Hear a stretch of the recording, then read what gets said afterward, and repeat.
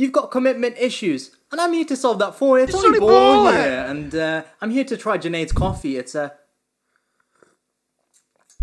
Oh. It's unbelievable, seriously. Seriously though, that's that's definitely scrum. That that's Proper ding dong do. Yo guys, what is up? My name is Taha Butt and I'm a third year medical student and today in this video I'm going to be telling you guys how to smash your OSCEs. When I did my OSCEs in first year, Alhamdulillah I did well, I got over 90%.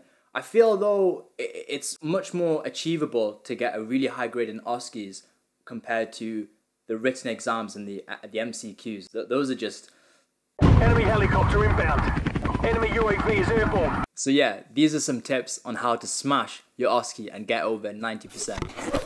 Read the instructions carefully. Now, don't don't you dare, don't you dare skip this part of the video. Like how you're gonna skip reading the instructions properly in the OSCE. Heh. I know what you guys are thinking, you know, I know how to read, but but th- th- that's where you're wrong. It's so easy to read the vignette wrong in your OSCE due to high levels of adrenaline and you just being so nervous. You've normally got one minute to read that vignette before you go into the station, so it's certain whether you're going to do an examination, history, or procedure, and what type as well. Most of the times it's pretty obvious, like, you know, if it's tummy pain, it's going to be likely to be, you know, a GI history examination. If it's palpitations, you know that's going to be cardiovascular. However, sometimes you need to be clever. If it's something like shortness of breath, that could be due to heart failure, so cardiovascular, or asthma, which is respiratory. If it's chest pain, that could be due to ischemic heart disease, so cardiovascular, or it could be due to pneumonia, respiratory. And so the way you're going to differentiate between the two is in your OSCE station. You're going to ask specific questions such as, can you describe the pain? Is it a dull, crushing pain, which is typically caused by ischemic heart disease, or is it a sharp pain, which can be due to respiratory conditions? So yeah, remember that. Sometimes you do need to be clever. I think I remember in my OSCE station, I wasn't sure whether it was going to be a respiratory history or a cardiovascular history, and so I had to ask those specific questions, and that helped me to deduce what specific type of history I was taking. Your introduction. Keep your intro short, stupid. Yo, too many people have this long intro. Like, hi, my name is Taha Butt. I'm here to do a respiratory examination on you. Two hours later. All Um, it have you had includes this is me done taking a before? look at your I'm gonna also move I'm on to the have back feel and of that- them. that's where I'm and gonna do the same thing pulse, as well, And I'm like also then listening. gonna. And then the examiner's sitting there like, shut up, fam. No wonder people run out of time.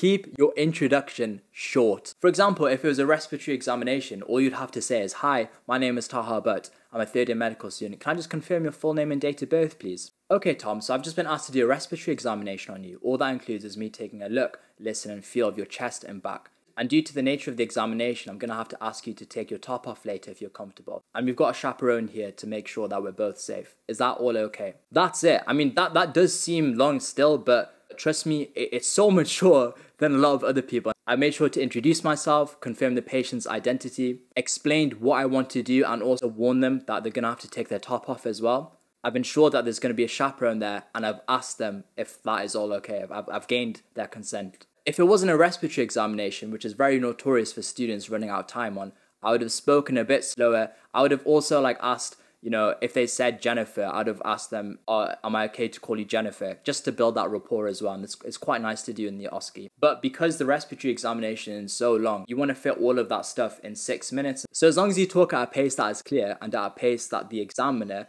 and the patient can both follow, then you're fine. Confidence. Look, you, you, you're gonna have to ask the person to take their top off, yeah? You're gonna have to ask the female actor to lift up their breast, to move their bra so you can listen to their chest. Be confident. This is not awkward. No, no, th- th- this is not awkward. Just, just let's get that out of our heads because this isn't awkward. This is a necessary step in order for us to do our examination. And that is essential when providing care to patients. So you need to be confident when asking these uncomfortable questions. So just ask it confidently. Just say, you know, for this part of the examination, are you okay to take your top off? That's it. You need to be confident when asking these questions because that's part of what you're going to be marked on in the OSCE exam. Showing confidence is important in the future as a doctor because you need to be able to be confident enough to instill trust in patients. So, how do you get confident enough to ask total strangers to strip in front of you? Just practice. Not, not, not with, not with total strangers on the street. Yeah, with, with your friends. I, I, I. The best way to practice for your OSCEs is by doing the histories and examinations on real people. Geeky Medic videos are great, okay? They're great for consolidating your learning and also by learning the examination. But the best way to practice it is just practicing on people. Just do it. Practice on people. The best way to practice is going through the actions and training your muscle memory so that when it comes to the examination or history, that they're just gonna flow so much more nicely because you've done so much practice on real people. Just little things as well, like where you place a stethoscope on the chest or how you percuss. Like I'm pretty sure for a respiratory examination, if you're trying to listen to the lungs there, you don't just go straight down like that. You're meant to like go like that. Those are the things you're going to be able to practice and learn when doing it on real life human people. Another reason why you should do it on a person and with other people is because then that's an opportunity for you to receive feedback. Often people think they know everything and they sort of undermine sort of OSCEs, but actually, you know, it's a great opportunity for other people to then fill in gaps of knowledge that you didn't even know you had. A lot of my learning for OSCEs has came from just other people just correcting my technique or giving me better ways and methods to do my histories and examinations.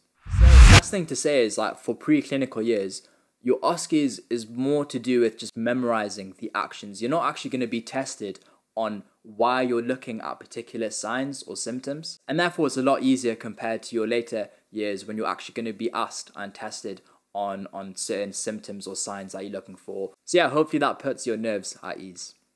So yeah, that's about it. If you're a first year medical student, go check out my video on most important things to have for medical school. It has a wholesome ending, if I say so myself. Please like the video if you found it useful and continue to show your support. You guys, you guys are amazing. Like we have over 800 subscribers. That is that is out of this world. It's always so nice reading the support and love in the comments as well. So please continue doing that. Thank you guys so much. And as a token of my appreciation, I'm gonna leave you with this. Do it. Have the confidence. Some power. Some hey, mina moroho. Hey, hey, what what? Hey, some